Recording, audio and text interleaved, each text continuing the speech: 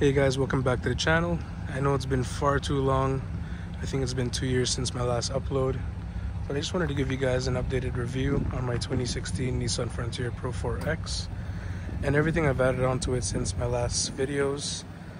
And obviously a lot has changed and this truck has gone through so much in those years. but yeah, here's how it looks now.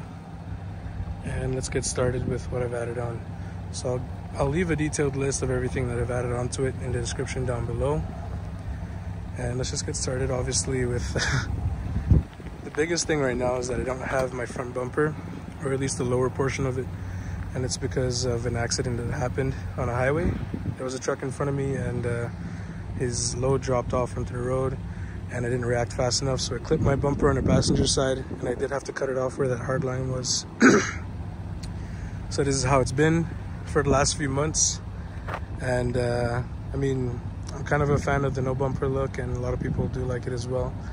But obviously, I do have plans now to uh, get an off road steel version from Coastal Off Road or maybe some other companies that come to mind, like ARB.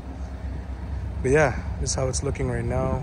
And uh, let's get started with the headlights. So these headlights are from Morimoto and I purchased them off of Square One Off Road, and they've been really good.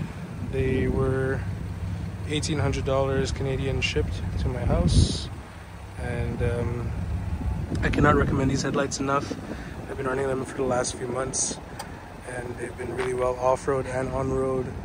So, yeah, 100% if you're looking for new headlights for your Frontier, go with Morimoto. And I think eBay has some budget options as well that are really nice.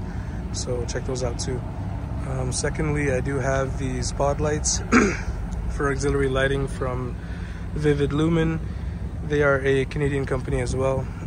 or sorry, not as well, because Morimoto is from the States, but Vivid Lumen is a Canadian company that um, I was seeing a lot of on Instagram and I love their design of their auxiliary lighting and their pod lights so I went ahead and bought a pair so these are the FNG5, so they are the 5 inch um, model. And I think it's not really usual to see like a 5 inch pod light set up on a hood mount. But, you know, oftentimes it's like a 3 inch light or even 2 inch. But I think um, for that oversized look, they look really good. And they match the truck for sure. And I think what's best about um, Vivid Lumen is that they provide these caps. So they have these lens covers for the lights that are interchangeable. So it's just these four clips that have it on and you can swap these out for anything. So this is like that hyper spot yellow. I also have the clear one for just a spotlight, but they have combo ones and various colors too on their website. So I'll link their website as well as Morimoto's in the description down below if you're looking to pick a pair up for yourself. Um, in terms of the setup in the future, I have the crash bar still, um, and my radiator is exposed, so which is why I was looking for the uh, steel bumper. But if I wasn't gonna go for that option and keep it the way it is, I'll have to figure out if there's a way to get that rad cover uh, covered up with some sort of uh, plate, metal plate or steel plate, and then just have a few more of those FNG5s just lined up in the front row or even hood mounted, or sorry, um, roof mounted, and just across there as well, which is a pretty typical and common setup for pod lights. But we'll see. Uh, we'll see how that goes. so far, that's the setup right now for um, pod lights on the hood mount, and then my headlights from Morimoto. And if we come along to the side, I just want to show you guys the stance right now this lift kit that I got. So this is the three inch leveling kit from TRUXXX. Um, it's um, three inch in the front, 1.5 inch in the rear. So it's a rear block and then a uh, spacer in the front. Sits really nice. Um, one more thing to mention is that I do have a two inch spacer for my wheel setup. Just to give it a little bit more of a poke on the side, as you can see. So yeah, it stands up pretty nicely. I'm still on stock size tires. These are the same tires that I've used for the three years of my ownership of this truck. Goodyear Wrangler DuraTracs at a 265 75 R16. Um, so still stock size, but with two inch spacers and a three inch leveling kit to give it the stance it's at right now. These tires are definitely worn out though. like, yeah, three years of um, abuse. yeah, a lot of off-road and harsh winter conditions up north and just rough driving in general. Like, I'm really surprised how these DuraTracs have held up over the years. I'm gonna continue using this brand and this model from Goodyear until they upset me somehow, but they've performed really well in winter conditions and I'm really happy with them on and off road. So yeah, just a better look now at those uh, front spacer lift. You can see over there. And then I also wanted to mention that um, I did do a melt mod as well as bashing that front end, just in case in the future when I'm looking upsize, I have more clearance over there for larger tires and a larger wheel and tire setup in general. And um, obviously another addition that I've put on here are my mud flaps. So these are from a company called Rokblokz. Amazing company. Um, I reached out to them and I also continue to see them on Instagram. And a lot of people are running these, especially on those um, compact hatches and stuff, hatchbacks and sport hatches. And I just love the look of them. They're on Jeeps too and everywhere. They make mud flaps for a lot of vehicles and I just think they look great on the truck too. Um, I went with the OD green or military green for my truck. It's a pretty unique combination for like that military green and silver. I didn't want to go for like the basic all black and silver look, so I think they really pop out. And yeah, they look really great on the truck. Just, it's a great color to match with the silver and black. Let me know what you think in the comment section down below. I'm still running the same um, running boards um, that I have been for the last few years and they've been great. I mean, the truck isn't really that high. It's a three inch level. I don't really often use the steps, but you know, it's there for in the future. if I was to go with a bigger lift, which might be something I'll talk about now because, um, yeah, like I said before, stock size, um, tires and same, obviously factory uh, wheels. So I think my plan was to go with um, the Rough Country six inch uh, lift kit, uh, suspension lift kit, and go for a 35 by 12 and a half R17 or 18. I'll actually show you guys a, um, not show you guys, but I'll link a channel that I found out about recently. And this guy's got a sick Frontier.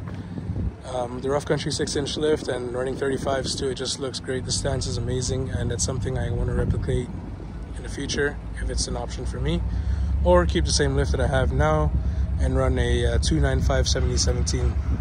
So there's a couple options. Um, but yeah, that six inch lift with the 35s just looks so mean. Um, definitely a badass setup for sure. I'll link his channel down below. I forget what it's called exactly, but I'll put it down there.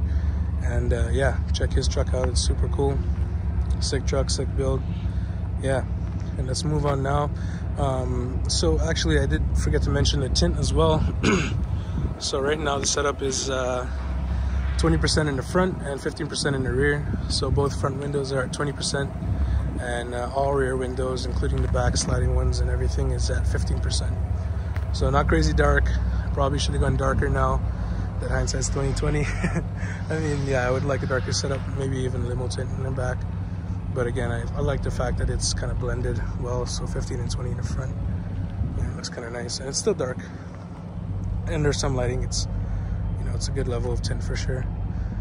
Um, what did I forget? So yeah, I also do have an exhaust. Probably my favorite modification to this truck by far. It just sounds so good, and I'll be sure to add a couple clips in here of how this thing sounds. But just at idle, you can just tell like this thing sounds mean. So this is the MBRP 3-inch catback, stainless steel T409, and I added the hex tip as well from MBRP in the black um, finish. Yeah, just looks great and sounds great too. So yeah, I'll add those clips of here of how it sounds. Hopefully you guys like it. And yeah, for a 4 liter V6, it just really sounds great. Um, better look again at the rear mud flaps here. Honestly, the mud flaps have changed the look of this truck entirely. I love the green on it, it really pops. Let me know what you guys think. I added the uh, Rokblokz decal and MBRP one as well on the rear, so that's new from the setup. Um, still have that rear shackle. Um, yeah.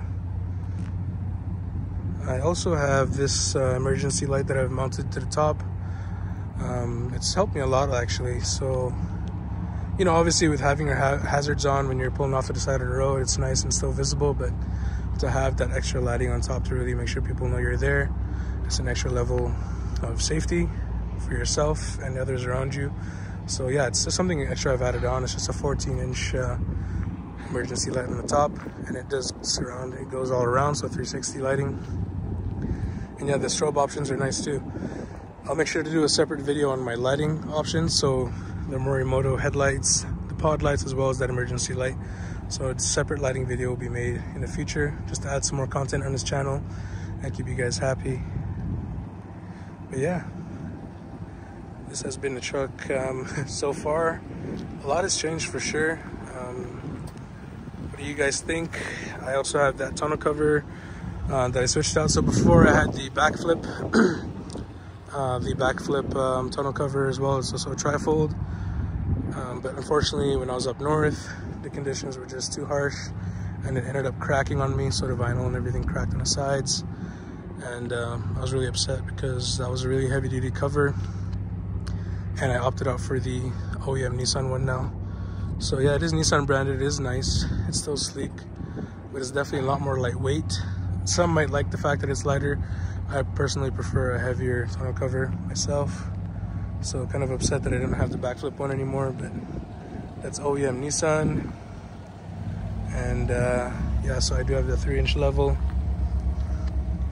1.5 inch in the rear, three inch in the front. You know, looking at it directly from the side, you can kind of tell that the rear sits still a little bit lower. I have parked next to a couple stock Pro 4X's and honestly there's not much of a difference in the rear.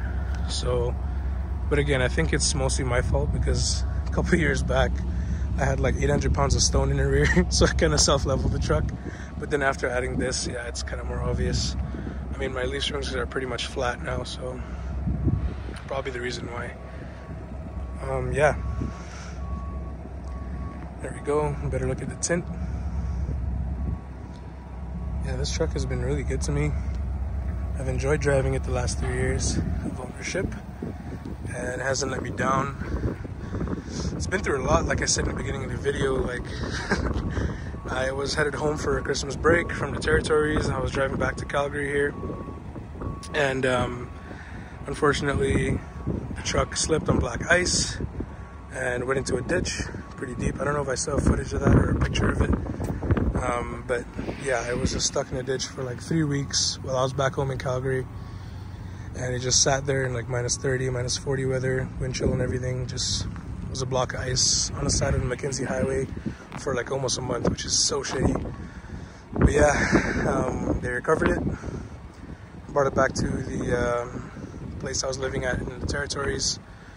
I had it just thaw out on the warmer weekend and I just spent hours and hours just chucking ice out of the engine bay and just kind of all over suspension components in general. It was just, it was a tough time for this truck and it's definitely seen better days, but um, you know, including today, I'm so glad of where it is right now. I'm happy with all the mods I've done to it and I hope you guys like it too. Um, just a better look again at that poke from the two inch spacers. Just looks so sick. I know it's stock size tires, but still I appreciate the stance for a smaller truck. So yeah, like I mentioned before, you know, ideally like a six inch lift from rough country and then some 35, so 35 by 12 and a half, R17 or 18, um, probably 17, yeah, I don't know, we'll see. I think that would look so sick with that rough country lift. And um, otherwise, you know what, maybe just keep this same level and then go for a 295 7017. I don't know, I'm still conflicted, like I mentioned it before, but I don't know what you guys think. I'm definitely gonna have to get um, upper control arms if I stick with this lift because I do have some coil bucket contact. I don't know, it's um, I don't really notice it as much, but yeah. That's the current setup right now. Let's see if I can get in there a little closer. That angle's not good for camera. yeah, this is the setup right now. Um, I honestly don't really hear much contact, in my opinion, but you know, it's bound to happen with a lift that's more than two and a half inches with uh, the Frontier in general. So yeah, that's what it's looking like right now. yeah, ever since I did the melt mod and kind of bashed in that section there, I'm not too worried about upsizing my tires in the future. But again, if some if uh, some modifications are necessary to run certain size tires, I'll have to do it. But the last thing I'm gonna do is, I mean, last resort is obviously cutting the fender itself, which is something I'm not looking forward to doing. But yeah, there's options for this truck moving forward and my build in general, but I'm definitely not done. Um, but for now, this is how it sits, this is how it looks, and I hope you guys like it. Uh, feel free to like and comment and subscribe to this channel if you've enjoyed this video. And of course, if you have any tips or advice for me with my build or suggestions, feel free to drop it down in the comment section down below as well. Thank you guys so much for watching and I'll see you guys next time.